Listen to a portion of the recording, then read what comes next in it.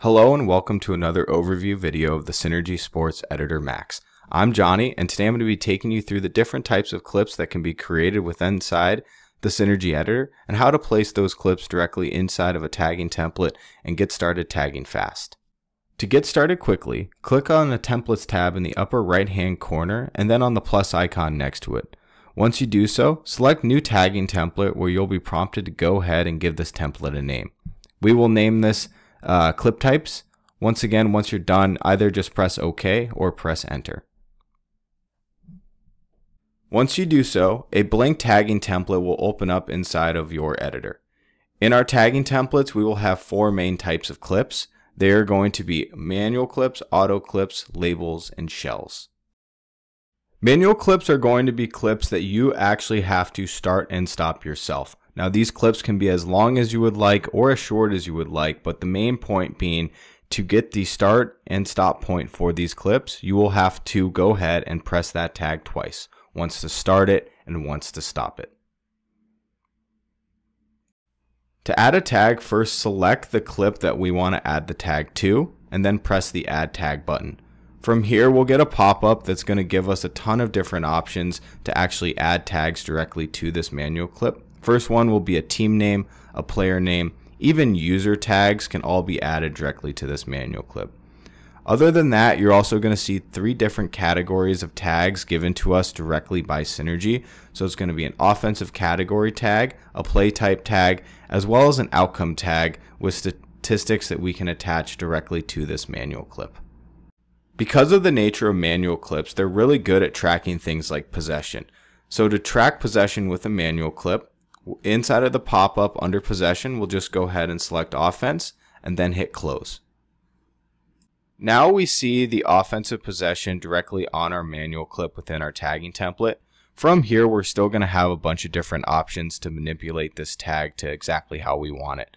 The first thing I'll point out will be the nickname box located uh, within the tags properties panel. So within here, you're able to actually change the display name of your manual clip. This is not going to change that it's tracking the possession, but what you're able to do is change how this is actually going to display on your tagging template. So to change it, just go ahead and click on the nickname checkbox and then go ahead and type in the name of whatever you would like to see as your display. The next tab we're going to have is going to be our properties tab. So if we click on this, we're going to see a few options. The first one's going to be to change the actual type of clip we have, which we can do directly in here. We can assign it a hotkey, and you're also going to have options to go ahead and link your tags together. So for example, with manual clips, because I said they track things like possession so well, you can go ahead and create two manual clips, link the tags together, and easily track who during a game is going to have possession of the ball. You also will have more options available to you under the Styles tab. So in here, you'll be able to change the color of your tag, the font, the size of your font, bold, italicize, even underline uh, the specific text within your tag.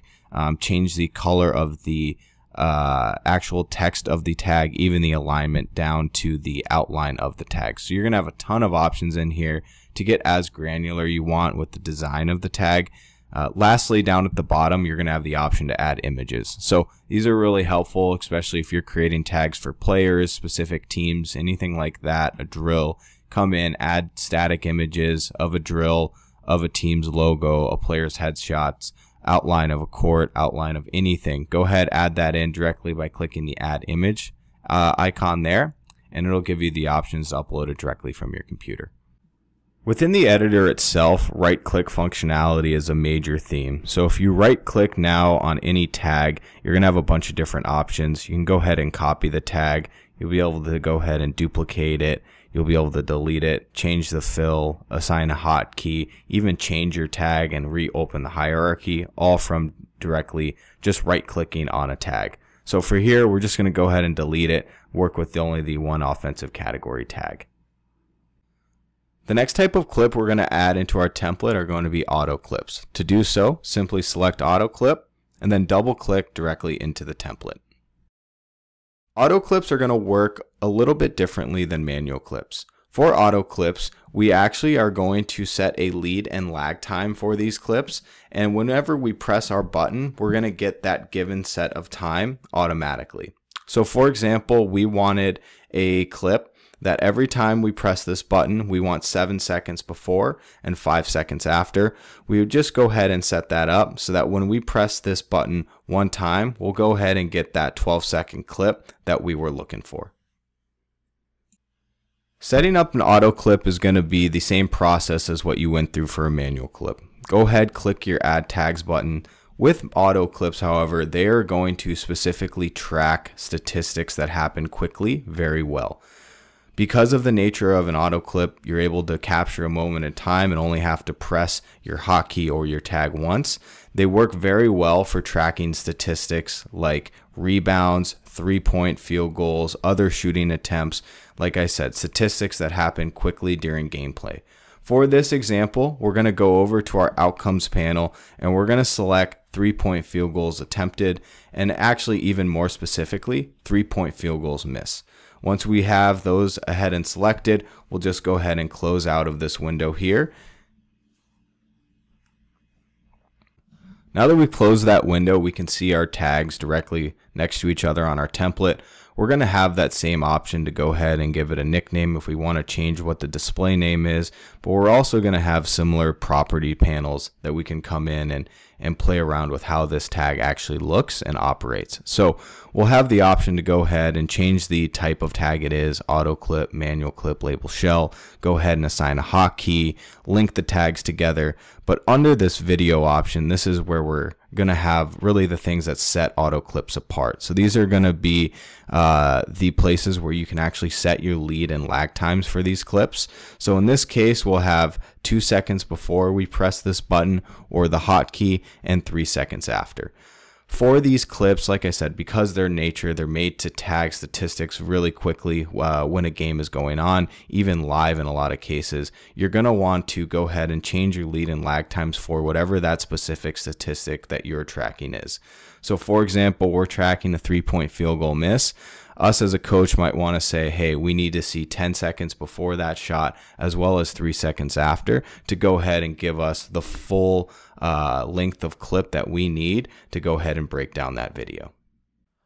The next tag we're going to add to our template is actually going to be a label. So labels are going to work differently uh, than manual clips and auto clips because they're going to work as a tool to attach data to your manual and auto clips.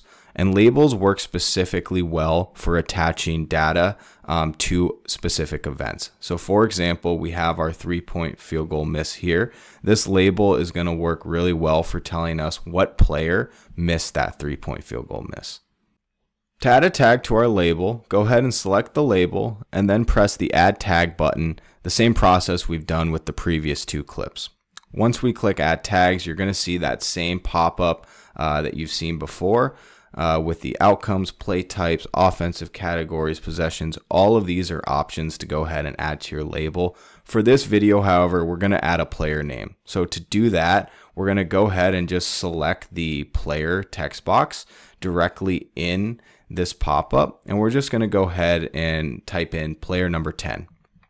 Once that's typed in, it'll go ahead and save for us. And what's nice is this list will continue to save and populate for us the whole time we set up our template. So you're always going to have these players saved and you're not going to have to go back and retype it. Once we're done, just go ahead and press close. Now that we've added the label to our tagging template, we're going to have all those same options that we've seen before. So we can change the display name by changing the nickname. Uh, we're going to have our properties panel change the tags. Again, assign this a hotkey. I always encourage users to use hotkeys so we can link tags together. Uh, all those same options that you've seen before. The last type of clip that we have is going to be shells. Shells are going to work a little bit differently. Uh, to go ahead and add our shell, go ahead and just select it. And with these, I'm going to say click and drag is going to be the best one. The reason being, shells work in a way to group tags together. So for example, with this setup, we would see that our offensive category manual clip, our three point field goal miss uh, auto clip, and our number 10 label are all also going to be grouped together with this shell.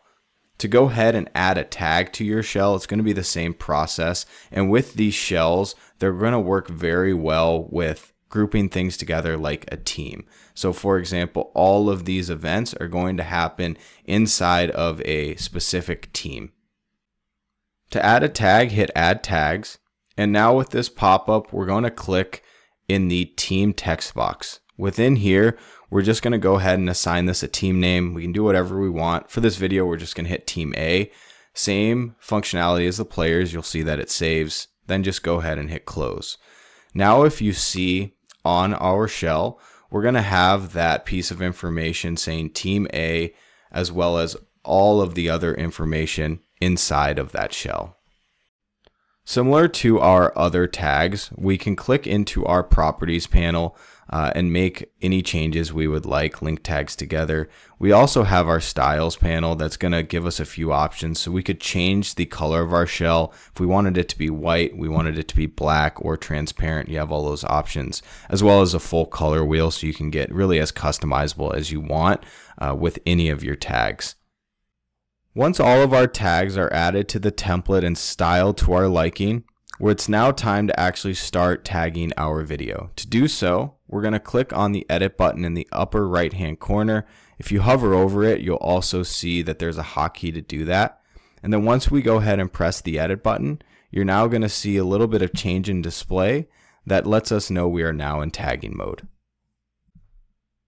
Within tagging mode itself, you're going to have a bunch of different options to change the display of the editor. Uh, so anywhere gray meets black, you can go ahead and drag, rearrange the video screen, rearrange the tagging screen, even down to uh, zooming in and out on your tagging template. Synergy is going to have a ton of options for you to really customize it to however you and your staff like to do your work.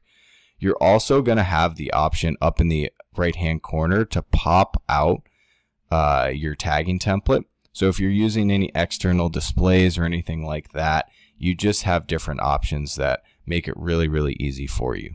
To redock your tagging window, there's a couple different options. First one, you can just go ahead and close out of it and it'll redock it for you. Or the same button you use to pop it out will also just redock it directly into your editor. Now that we've added clips to our tagging template, we're actually ready to start using it to tag our video. To do so, we're going to press play and get the video started. Right off the start, we can see that Team A wins the tip, starting their offensive possession. So we're going to start our manual clip by pressing either the clip or the hotkey once to get it going. From there, we see really quickly there was a shot from Team A. So we know that this was a three point field goal. We don't know what it was yet. Now we know that it was a miss. So we're going to go ahead and use our auto clip to go ahead and label that as a three point field goal miss. And now the last piece of information we're going to want to add is who was the player. In this case, it was number 10. So we'll go ahead and click our label and it'll attach the player to our three point field goal miss. Notice how the offensive tag is still running during this whole time. So now that we have those clips attached to our timeline, just in that 15 seconds, we're going to start to see what information we are able to pull out of that video. To start out, we can zoom in with this wheel that'll change the perspective and the size of our tags in our timeline. Makes it a little bit easier for different lengths of video that you might be working with just to make sure that you can easily identify the tags that you want to find. So now if we look at our clips, we can tell this one on top is the manual offensive clip for Team A. And the one on bottom is going to be the three-point field goal attempt as well.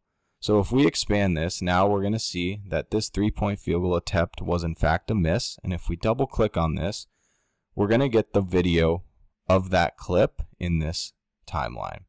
So it's going to be the exact length that we set in the setup of this tag. And we're going to be able to go ahead and watch this clip the entirety of the way through. We also can hover over it, and that's going to give us the information about what player was associated with this specific three-point field goal miss. Thank you for taking the time to watch this video on the different clip types that can be added into the Editor Max. We hope that this helped, and if you have any other questions, please let us know, and we look forward to teaching you again on one of our next videos.